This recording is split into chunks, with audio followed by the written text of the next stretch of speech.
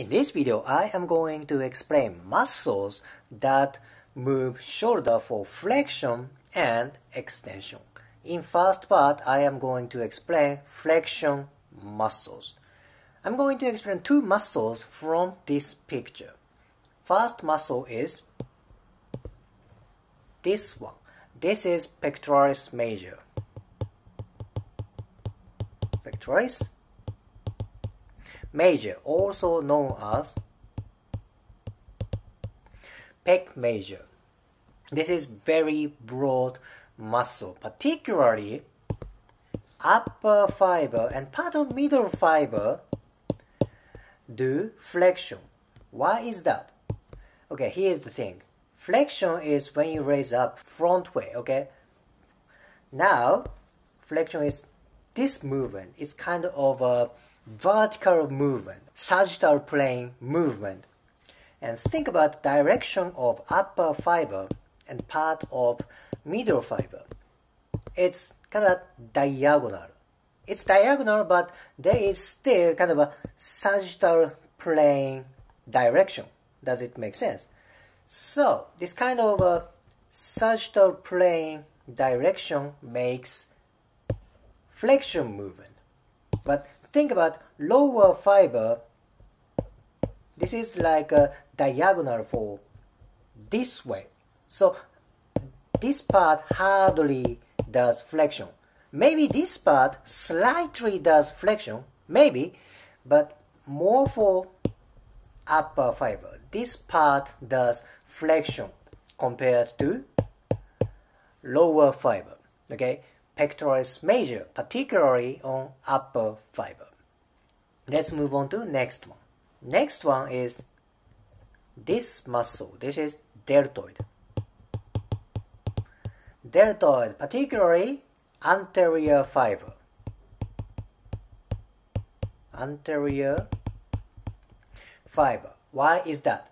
It's just because of location. It's on anterior part. When this part contracts, that makes shoulder flexion. Think about it. Posterior fiber of deltoid does not do flexion because it's on backside. Backside muscle does not do flexion. Basically, anterior part of shoulder muscle do flexion. And think about direction of anterior fiber. It's more like a sagittal plane direction. It's longitudinal. So this longitudinal fiber brings shoulder towards flexion. It's like uh, upper fiber of pec major. Fiber of anterior deltoid is more like vertical, more on the sagittal plane. That is why anterior fiber deltoid does flexion. Pec major upper fiber and deltoid anterior fiber. Let's move on to next muscles. Okay, I would like to explain two muscles. First muscle is this one. This is biceps brachii. Biceps brachii. Wait a minute. Isn't biceps brachii elbow flexor? Yes, true. It is elbow flexor, but if you look carefully, the origin of biceps brachii these fibers originate from scapula. Yes, this muscle originates from scapula. What do I mean? I mean this muscle crosses shoulder joint. This muscle crosses shoulder joint. That means this muscle has function for shoulder joint. What is it? That's shoulder flexion. Once again, look at direction of fiber of this muscle. It's pretty much longitudinal. It's on sagittal plane. When this muscle contracts, of course, this muscle does shoulder flexion. Okay, biceps brachii, very important. Particularly when your elbow is stretched out, now you can exert more powerful shoulder flexion. Okay, elbow extension, extension, then the shoulder flexion ability increases. Shoulder flexion increases. I am talking about biceps brachii. When your elbow is flexed, uh, this muscle doesn't exert more powerful shoulder flexion. When your elbow is extended, biceps brachii perform more for shoulder flexion. This is very interesting. Let's move on to next one. Next one is a little bit hard to see. This muscle, this is deep to biceps brachii. This is coracobrachialis.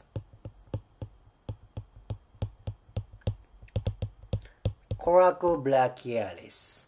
This muscle originates from coracoid process, which is scapula. Okay. It originates from scapula and it inserts to humerus. What can I say? This muscle crosses shoulder joint as well. And direction of fiber is again pretty much longitudinal. Thus, this muscle can do flexion. Very important. I explained four muscles, pec major, particularly upper fiber, deltoid, anterior fiber, biceps brachii, and coracobrachialis. These are shoulder flexors. For next part, I am going to explain shoulder extensors. This is posterior view of shoulder. First muscle I'm gonna talk about is this big, huge muscle. This is latissimus dorsi. Latissimus dorsi. I think this is the strongest shoulder extensor. I mean, look at its size. It's humongous. And direction of fiber is this way. When this muscle contracts this way, that brings shoulder to extension. This is very strong shoulder extensor. And what is this one? This is teres major.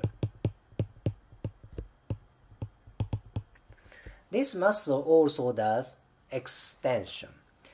The fiber is kind of horizontal, right? It's not pretty much vertical. However, teres major is also strong shoulder extensor. Not strong as latissimus dorsi, but this muscle also can do shoulder extension. Latissimus dorsi, teres major. Next one is this one. This is deltoid. Deltoid posterior fiber. Posterior fiber. I explained anterior fiber for shoulder flexor. Posterior fiber does shoulder extension because this is literally on posterior part. When this fiber contracts this way, that brings shoulder to extension. Fair enough, right? Latissimus dorsi, teres major, deltoid posterior fiber, and one more muscle. Okay, deltoid posterior fiber is removed. I want to explain this muscle. This is triceps brachii. Triceps brachii. Okay, this muscle is for elbow extensor, right? Yes, it is true. But look at this part. This part is long head. Long head.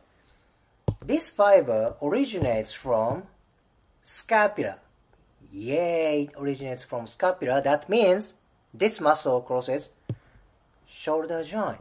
And look at fiber. It's pretty much vertical. It's on more on sagittal plane. It crosses shoulder joint. It's on posterior part, and the direction of fiber is vertical. Yes, it makes sense. Triceps brachii does extension.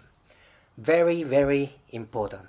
I personally do uh, weight training, particularly pull up, chin up, you know, pulling movement I feel teres major and triceps are fatigued. That means I, I'm using these muscles. Of course, I feel fatigue on latissimus dorsi, but I wanted to, you know, emphasize teres major and triceps brachii also do shoulder extension.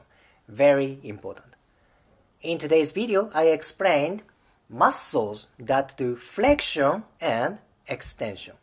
If you liked today's video, please hit the like button, comment and subscribe. See you next video.